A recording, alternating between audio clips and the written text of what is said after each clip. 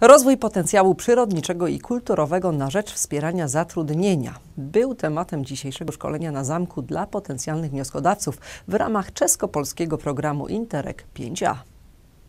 Program współpracy transgranicznej Interreg 5A Republika Czeska-Polska, którego początki sięgają 2004 roku, obejmuje cztery osie priorytetowe i dzisiaj w związku z naborem wniosków do osi numer 2 odbyło się szkolenie dla potencjalnych wnioskodawców. W priorytecie tym chodzi o to, żeby zainteresować potencjalnych wnioskodawców z pogranicza realizacją działań dotyczących infrastruktury kulturalnej, kulturowej, kulturalnej, przyrodniczej, z tym, że ponieważ w tym programie następuje tak tak zwana koncentracja tematyczna. Chodzi o to, żeby wszystkie przedsięwzięcia realizowane w ramach tej osi priorytetowej wpływały na wzrost zatrudnienia na pograniczu. Krótko mówiąc, należy tak przygotować i realizować projekt, żeby jego wartością dodaną był wzrost zatrudnienia zarówno na pograniczu czeskim, jak i polskim. Projekty są wspólne.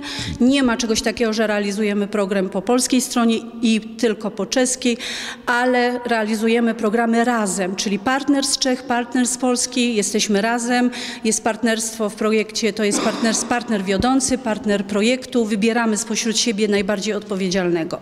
Jeżeli chodzi o tą oś priorytetową, to alokacja przeznaczona na tą oś priorytetową to jest około 135 milionów z Europejskiego Funduszu Rozwoju Regionalnego. Na cały program to jest około 226 milionów euro z Europejskiego Funduszu Rozwoju Regionalnego. Także jest to oś, który, na której alokacja jest jakby w większości przeznaczona z tego programu. W szkoleniu, które zorganizował Regionalny Punkt Kontaktowy w województwie śląskim we współpracy ze wspólnym sekretariatem programu oraz Euroregionem Silesia wzięło udział około 60 podmiotów, wśród których których byli głównie przedstawiciele gminy i stowarzyszeń.